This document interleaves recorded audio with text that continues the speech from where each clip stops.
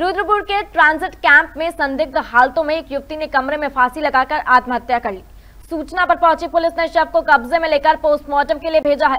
Police को आत्महत्या का कारण पता नहीं चल पाया है। बताया जा रहा है कि अल्मोड़ा निवासी युवती ट्रांजिट कैंप की राजा कॉलोनी में किराए का कमरा लेकर रह रही थी और परीक्षा की तैयारी कर रही थी। संदिग्ध हालतों में प्रिया ने कमरे में फांसी लगाकर जान दे दी है। मकान मालिक ने इसकी सूचना पुलिस को दी। पुलिस मामले की जाँच कर रही है। रुद्रपुर से मुकेश बछेती की रिपोर्ट। ट्रांजिट के थाना में सूचना प्राप्त हुई कि एक सुसाइड की घटना पाई गई है।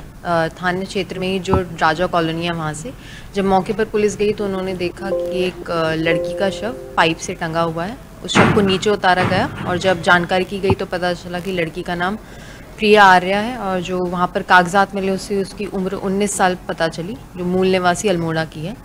पूछताछ करने पर पता चला कि वो कुछ दिनों पहले ही हाल ही में उस कमरे में आई थी और वहाँ अकेली रहकर परीक्षाओं की तैयारी करती थी। इसके बाद उसके परिवारजनों को जानकारी दी गई इस मामले के बारे में और उसकी पंचायत नाम और पोस्टमार्टम की कार्रवाई की जा रही है।